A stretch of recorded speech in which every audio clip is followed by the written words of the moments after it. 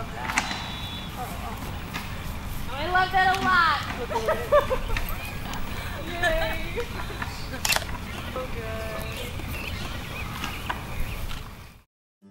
I don't ever want to get stale. Like I don't ever want to be bored. I don't. I don't ever want to look at something and not I like feel inspired. Like I, I you want to have like that excitement over it every time. So we're on Belle Isle and we're working on a styled shoot. So we had our model Dana, who's with the Closet Confidential Fashion blog. So we're doing a couple things for her, getting some shots with some of her different accessories and pieces, and then we're gonna do uh, some fun stuff. She's got a wedding dress, and we're gonna have her go swim in the, the Detroit River. We're also gonna play with some smoke bombs and try to get creative. We've got our makeup artist Baily Dehenau here and uh, hairstylist. So just something for everybody's portfolio. Again, just to try to attract and uh, inspire people that we work with to, to do some fun stuff with us, just so they kind of know what our, our realm of creativity is or, or what we're capable of or, you know, what we want to do. You know, once you instill those ideas in people's heads and they're like, oh yeah, we totally want to do this and they're all about it rather than just doing the everyday, you know, type of stuff. So yeah, I'm pretty pumped. It's going to be a lot of fun. I'm really excited. She's amazing. She's so creative and has just some incredible ideas. This was all Meghan's idea. Um, I'm just kind of up for whatever, and I think she liked that, you know, we could do a good,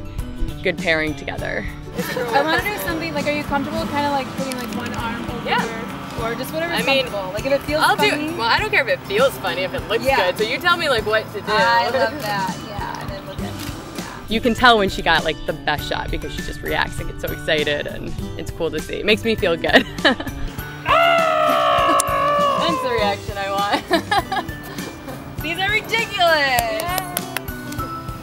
Because I can see what the picture looks like as soon as I take it, and I'm always I always think it's the best picture that I've ever taken in the world, and I usually tell people that, like you guys, this is the greatest picture I've ever taken ever, and I and I mean it, I believe it, because every shoot, you know, you grow and and it just continues to get better and better. I don't think you ever really get to the point, and I think that's why this business, this industry is so addictive, because I don't think I'm ever gonna look at a photograph and be like, oh, that's it, I'm done. Like I've achieved everything that I need to achieve as a photographer.